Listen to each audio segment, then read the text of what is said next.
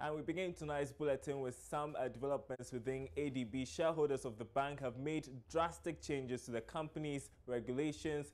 Key among them is limiting government's hold on the bank.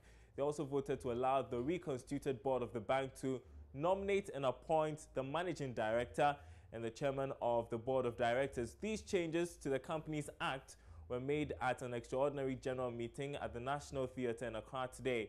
Speaking to Joy Business after the meeting, Deputy Managing Director of investment firm Belstar Capital, which holds majority shares in ADB Bank, Patrick Kinsley Nina, uh, said these changes were critical to help put the bank on a strong footing. It is only right that once an initial public offer has been effected and 450 shareholders approximately, I'm not sure about the total number, but minimum of 400 shareholders have come to add to it. The share, the, the, the, company's regulation must reflect that. In fact, there's more that we wanted to do, but we want to take our time and go through the regulations. But this one has to do with the governance of the company. And it's only important that those who've put so much money in it and have put their interest in the bank will have a say in the direction of the bank. It's good you said that there were more things that you wanted to do. One of them is to make these sweeping changes to maybe possibly propose a new MD. Um, that's as we mentioned, it's the board that's going to do that. So I cannot tell you, you here. Have a majority hold on this board. We do have a majority, or we will have a majority, but we'll wait till the board sits and the board is convened, and then we can take it from so there. Is it more of a, doing more of a call it a corporate coup? Maybe some would say. Don't. Um, I wouldn't say so. I think that we are going to sit down with government, as you saw from the regulation. We've proposed that government will have three seats. So we are working with government. So we are not going to um, get up and say, oh, we're doing this, we're doing that. No, we will work with government every step of the way because we, are, we both have interests. So it's only, it's only meet and right that we do that. From the shareholding, you be a majority shareholder in this company, all other things being equal. Are you going to make proposed changes in nominating a new MD to this bank? Uh, I cannot stand here and say that. We will discuss will you table that at a next... It is not impossible. We're going to have to look at it. But you see, this is the whole reason why this exercise is happening. Because until today, and even until the annual general meeting, when the board is convened, we do not have any access to company. The, the company has not even signed their accounts. So you can't even tell whether losses are being made. So there's so much that this is this is just to pave the way to give us as investors the latitude to work with government and make sure that we take this bank where it belongs. We've been picking the reaction of former Director General of the Securities and Exchange Commission, Edouard Nantnie, and he described the exercise as victory for corporate governance. Well, it's, it's, it's a good thing uh, when you have uh, this such proposals coming from a shareholder and giving the opportunity for other shareholders to agree on. I, I think basically it's, it's, a good sign. Some have called this more of a corporate coup because the, the single largest uh, shareholder uh, wants uh, to put in place their own MD and all those things, and that is why all those things are happening. No, I don't think we pass any resolution here appointing anybody as MD those are left for the directors to decide. But mind you, uh, under the Companies Act, once you have 5%, you can call for an AGM and propose resolutions and allow the entire members to vote for or against it. But you think it's a good thing for corporate governance and what is happening, also reducing government's hold on the bank? No, no, the government doesn't have to have a hold on the bank. Government is not saying you want to have a hold on the bank. Government has 30 something percent, 32 percent. And the good thing is that uh, they have, even shareholders have agreed to allow government to nominate a maximum of three people on the board. So government hasn't uh, lost I'm saying that uh, the holding previously would have... They were not, they were, they, they held about 50 something percent, mm. but that has changed. And nobody uh, forced the government to, to allow that. The government deliberately uh, uh, did that listing to ensure that uh, the Ghanaians and uh, other, other shareholders would have some shares in the company. You think it's good for corporate government? It is, because you see, I have always been saying that government should help us bring all the government institutions onto, onto the market. So if the government has brought one institution to the market, that is best. The other institutions that government has more than 50%, sometimes getting to 90, 80%. We appeal to government always to ensure that part of its, its uh, uh, shares on these uh, uh companies are brought uh, to the stock exchange for ordinary Ghanaians to also have a say in some of these uh, companies. So that's a good thing. Away from that, and Ecobank recorded the highest profit in the banking industry for last year. That's the conclusion one could draw after going through published results of 30 commercial banks. But how did other banks fare and what could be the impact on their performance? Georgia Fay has more. Ecobank recorded a profit before tax of 457 million Ghana cedis, which was still the highest among the published results so far, despite the marginal dip in its earnings compared to what was recorded for 2015.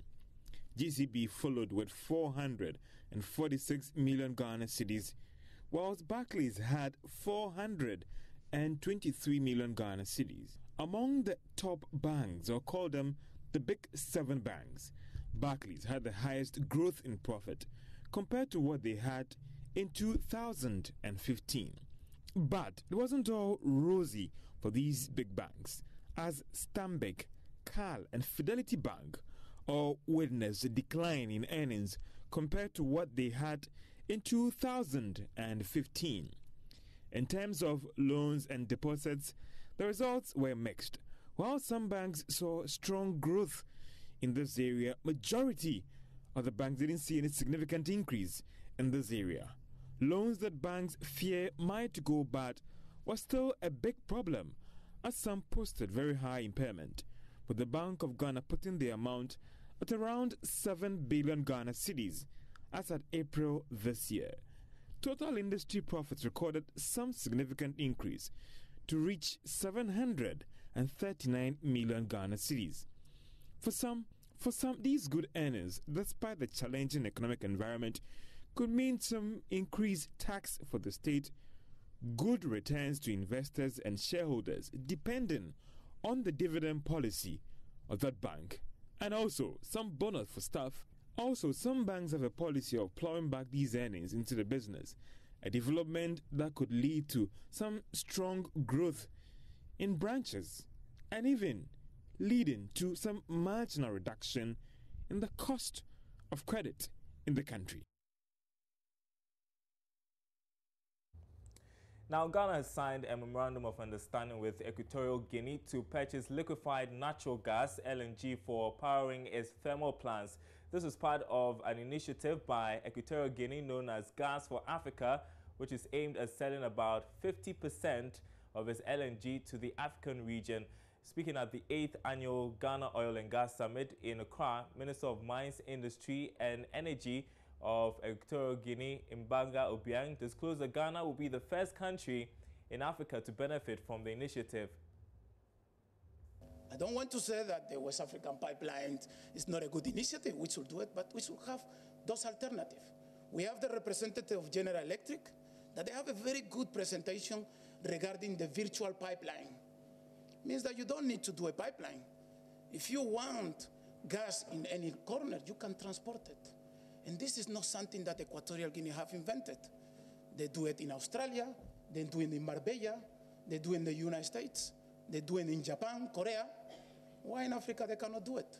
It's to send ship of LNG, put it in container and take it to very remote places, and they will be working with gas. So I have to say, and I want to thank my, my fellow minister from Equatorial, uh, from Ghana, that yesterday we are starting an initiative. It's called LNG to Africa. And we are starting with Ghana. We have signed a memorandum of understanding with Ghana to look the possibility for us to send LNG because it's very sad that we can negotiate contracts with Chile, with uh, Singapore, with Korea, and we are sending LNG every day, but we can't send one single drop of LNG in Africa. So we're going to put personally in Equatorial Guinea, put all the efforts to make sure that we can supply LNG because if you have LNG, you can deliver to any place, any corners that you need, And you don't need a pipeline or anything. You just need to have a power plant, a regasification plant, and you do it like they do in Tanzania, like I mean, in, Australia, in Spain, in different other places. The issue about the floating LNG sooner or later is going to happen. And we are a little country, but uh, like Napoleon, we like to do big things. And we want to be one of the first ones to have a floating LNG. But we have put conditions to our off-takers. The condition is that 25 to 30% of that gas need to be to the initiative LNG to Africa. It will be gas going to countries like Ghana, Cote d'Ivoire, anybody who wants LNG. Of course, they need to pay, so this is not free. it's a business. Now, Minister for Agriculture, Dr. Afriyie Akoto says his outfit is working with commercial banks in the country to help secure funding for vegetable exporters. This comes as government seeks to have the ban on vegetable exports from the country lifted. In an interview with Joy Business, Dr. Akoto said the uh, move is towards supporting private businesses in the vegetable export business. You know that vegetables, fruits and vegetables are, are more delicate uh, products. So they have a different requirement in terms of the refrigeration and the handling. It's more expensive, it's the high end of the, of the market. So it needs uh, uh, uh, specialist interventions of the private sector, of the kind that we've seen here uh, exhibiting their goods and the people that we met this afternoon. Uh, we need to make sure as they themselves said, that they are well uh, heeled when it comes to financing requirements because their financing requirements are much higher than ordinary uh, uh, agricultural produce. And we'll be talking to the banks to ensure that once the ban is lifted, they will make facilities available for them to expand their activities so that whatever we've lost in the last two years, uh, we can catch up in a very short period of time to add to our portfolio of uh, agricultural exports to enhance uh, production and export earnings in this country. Well, still in the agri space, the Ministry of Fisheries and Aquaculture Development has set up a task force to clamp down on illegal fishing in the country's waters. The ministry is also employing some technology which will help to track foreign vessels that are uh, operating illegally in Ghanaian waters. The dangers posed by illegal, unregulated and unreported fishing as well as the activities of foreign nationals in Ghanaian waters uh, were some of the were some of the uh, issues that uh, was were raised by the uh, ministry. The ceremony, which happened at the Tema Fishing Harbour, uh, saw key players in the fisheries sector, government officials, members of parliament from coastal communities, metropolitan, municipal and district chief executives, as well as associations in the fisheries industry take part.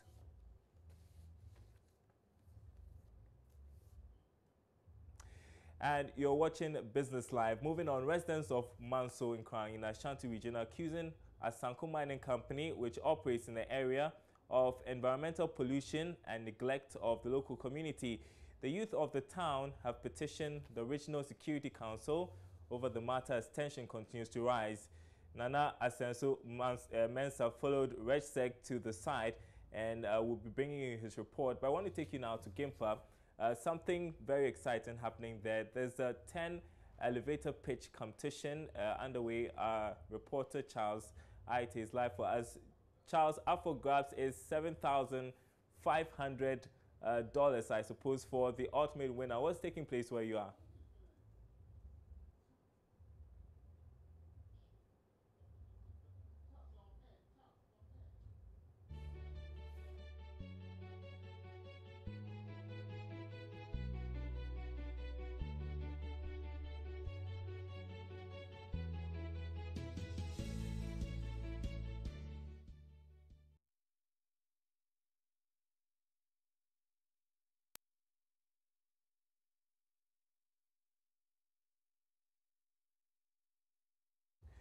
All right, so you're watching Business Live. We uh, find it difficult to get Charles on that line, but we'll quickly do that and get back to him. But residents of Manso Nkran in the Ashanti region, I beg your pardon, let me grab that, accusing Asanko a mining company which operates in the area of environmental pollution and neglect of the local uh, community. Let's get more in this report.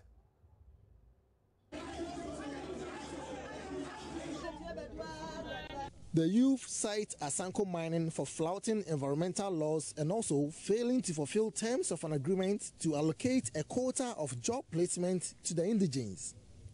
They say the only source of drinking water is contaminated with sodium cyanide used by the mine while many places in the town have become flood prone due to activities of the company. Mine officials, however, dismiss allegations of cyanide pollution of water sources in the area. Operations Manager Charles Amwa told Regional Minister Simon Osei Mensah during a fact-finding visit to the mine, measures are in place to deal with potential incidents of flood. We look at them, and uh, those that are not correct, we let them know that it's not correct, and those that require investigation further, we do it, and then the, our view is to bring it to conclusion successfully, whatever allegation they put there. Mr. Amwa also explains the company has been unable to employ the required number of skilled labor in the community because checks revealed those who were presented are not indigents. It will be appropriate that uh, they come on board here for us to proof of what, how we go about even our employment processes. You came here and we've shown them to you, and then uh, you've seen it. So they must come and then uh, we'll sit down and then we'll go through them. Regional Minister Mr. Osei Mensah, who led the REGSEC delegation, urged company management to constantly engage all stakeholders to resolve their differences. All they have sizable number of people that have been engaged from the community, even though the community members are still not satisfied. But we've told them to engage them, explain some of these issues to them, especially the district chief executive, who is also uh, somebody who a native of the area so that he can engage the community leaders and make sure that he explains some of these issues to them to bring peace uh, between the company and the community people. Nana Asenso Mensa reporting. Okay, you're watching Business Live. We want to go back to Gimpa now because uh, we can establish link with Charles Ayitey, who is reporting on the 10 elevator pitch uh, contest that is underway. Take it away, Charles. Rightly stated, Daryl. As you could see right here at the Moot Auditorium at the Gimpa Law School, the uh, contest, the awards uh, night for that matter, is just about taking place in the next few minutes. And uh, this is going to be seeing top entrepreneurs across uh, Ghana's tertiary institutions went up to $7,500, you know, for their innovative ideas in the world of entrepreneurship. As you could see, some of the contestants are at this seated just, just behind me. But I do have here with me the founder and chief executive officer of uh, 10 uh, Ghana to help us understand why this very contest this very evening and what they seek to achieve, especially in bridging this situation of unemployment in our country today. Thank you very much, sir. And we've been having discussions time and time again as to the reason why we're having such contests as, as these. And I mean, tonight is the ninth, the awards ceremony. What are we expecting? All right. Um, this is uh, um, a journey that we've been through for over a year now. You know, um, it, is, it is projected that by 2020, um, uh, four, three out of four African are going to be the youth. And that's already, we are facing unemployment challenge in this country. And uh, what are we doing? Most of our students, our graduates come out from school and look for white collar job. Those do not exist. So we are trying to find an alternative for them. Whilst they are in school, they should be thinking how to actually develop a business idea. Okay, but just not to take the levers out of a sale. I mean, you have been screening close to about 150 entrepreneurs, you know, potential entrepreneurs who are, you know, potentially going to be winning this very, you know, award this very evening. Screening all these 150 contestants, what have you noticed, you know, happens to be that one thing that most of them could be lacking? Right. Um, basically, what we are lacking in this uh, this country is the support system. After going through 156 you know, uh, business proposals, you realize that these young ones have the potential to actually launch a business into the market. But what they are lacking is the support system. They, some of them don't even know where to go, how to register the business, how to start it. And that's why 10 Ghana do exist. We exist to provide all this uh, to these young ones and then couple with it a fund. So what that we're saying is that the youth have no excuse of not launching that business idea. All right, Kelvin, thank you very much. That was the chief executive and founder of 10 Ghana. But of course, this discussion cannot end on a very good note without having some interaction with the contestants. And I do have here two of them seated, very confident, and uh, they are just waiting up to see whether or not they could make it to this very evening's awards. Yeah, so uh, just in 30 seconds, okay, why did you contest and why do you, why do you think that you could win? Mm, the reason being that the idea that I'm having is to solve problems. Okay, what was your idea as well? Um, my idea is to train young ladies in the latest technologies and to prepare them for the future of work. And I'm All very right. confident I'm going to win. Okay, so very, very, very, very innovative ideas there right here from the Moot Auditorium here at the Gimpa Law School. Charles Ayitey, thanks very much indeed. Of course, we'll bring you more from there in our subsequent bulletins. Let's move on now. All is set for the Ghana Fair organized by Online Marketplace uh, for African Goods. The event, which takes place tomorrow, is dedicated towards uh, celebrating Ghanaian innovation and creativity. Several Ghanaian entrepreneurs who are adding value to Ghana's raw materials will be displaying their products at the Impact Hub in Accra, and that's venue for the fair. We've been speaking with the CEO of Impact Hub, William Edem Senyo.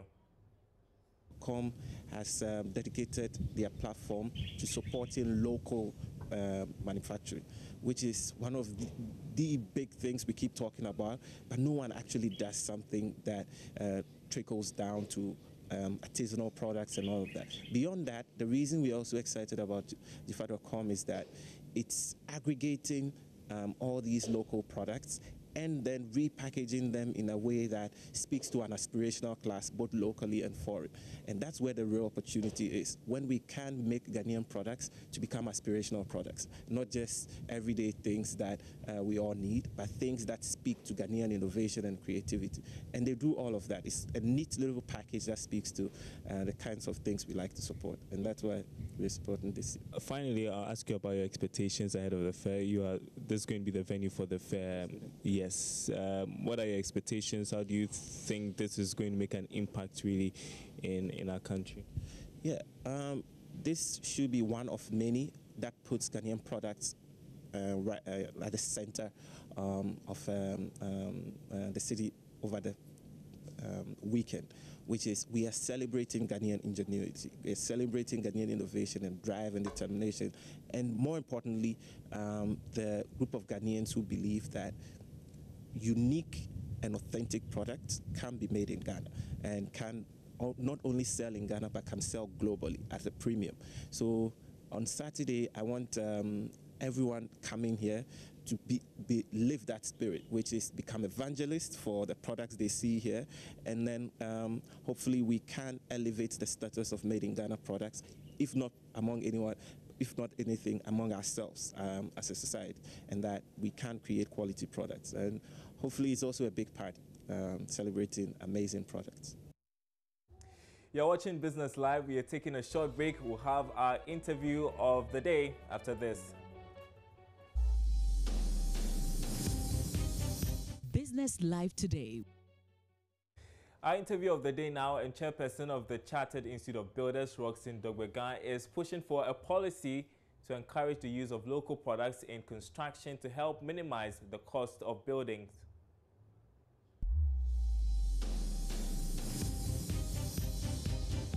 Interview of the day. Currently, what we find in the country is that local contractors are not paid interest on delayed payments. Yeah, where it even where provision is made for in the in the contract documents. Unfortunately, government contractors suffer this. Clients, contractors work for in, in, in Ghana, particularly in the government side, uh, public sector space, they do not honor these obligations. Unfortunately, local Ghanaian contractors are not able to claim for the interest on delayed payment for fear of victimization. Yeah. And those are some of the woes of the sector. By this, the capacity of the contractor to raise funding is reduced. the contractors in Ghana are no longer attractive to banking sector for support